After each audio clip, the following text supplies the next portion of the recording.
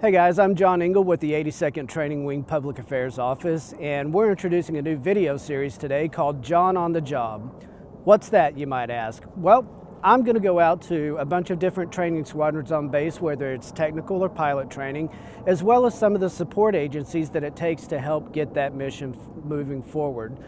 So the Air Force sends about half of its basic training graduates to Sheppard Air Force Base so they can learn their next set of skills. And what better way to start off this new series than by going to the place that leads the way, and that's our civil engineers.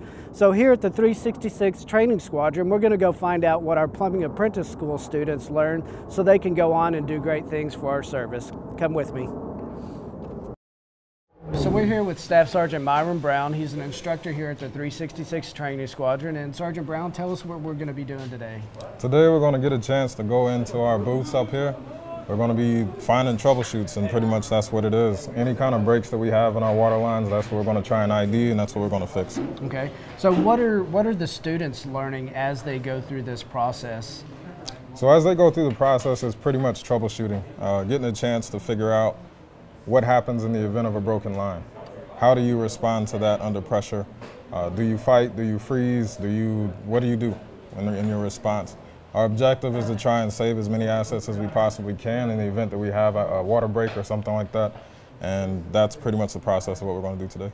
The objective is once we get in here, we're going to, before we put the water on, we're going to try and use these rags, wrap around anything that might have any cuts or any sprays or anything like that and we're gonna give it a nice little knot tie. Okay. And we're just gonna tie it just like that. Okay. And then that's pretty much our ID for wherever our issues are gonna be at. Okay. And then let's come in. All right. Ready? Let's do it. Let's do it. So what's gonna happen as soon as we cut this on, if we see any other sprays down here, we're gonna try and identify it, wrap it around, whatever we missed, and then we're gonna pop up top and ID what's what's going on up there. Okay. All right. Here's the moment of the truth. All right. You ready? I'm ready. Let's do it. Here we go.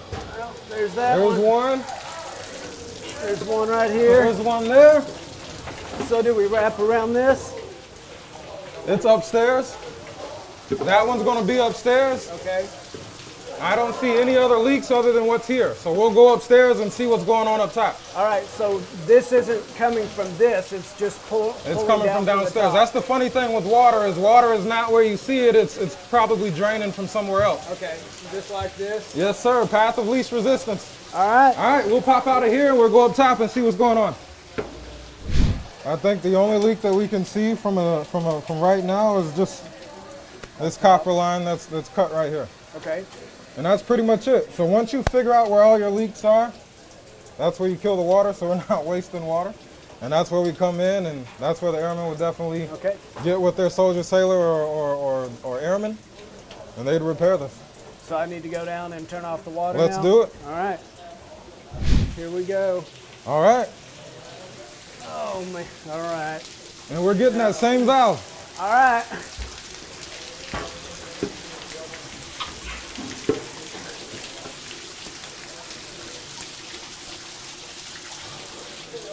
Yes, sir.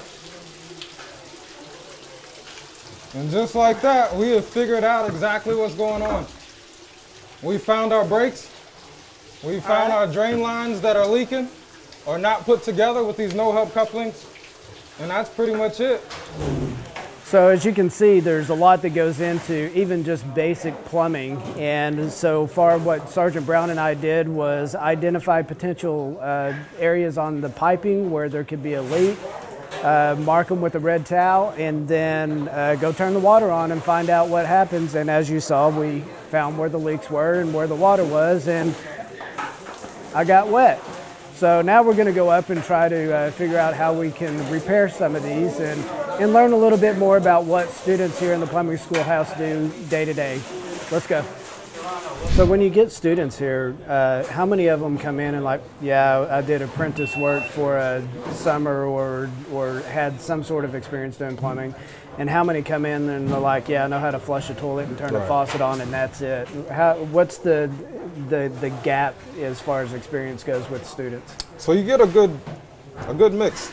There's some that have been plumbing, you know, their whole life uh, when they were civilians, and then you have those that they just graduating high school and they're coming here. and have not a clue as to what CE even is. Um, so you get that good mixture, and uh, that's where, as instructors, it's our, our it's our job to kind of teach them and, and coax them along. For those who know exactly what to do, it's it's their job to kind of slow it down and kind of work with the ones that don't know, so they can kind of teach them what maybe we're we're instructing them, and they might not understand what we're saying. Uh, but that's where we try to lean on the students as well to help teach the students as well. All right. So that'll do it this for this episode of John on the Job. Yes, indeed. Sergeant Brown, thank you very much for Hey, showing us what you guys do. Everybody wants to turn the faucet on and That's expect it. the water to run and flush the toilet and expect it to go away. Yes, sir. So thank you for showing us this today. I Not a appreciate problem it. at all. All Definitely. right. We'll see you next time. Yes, sir.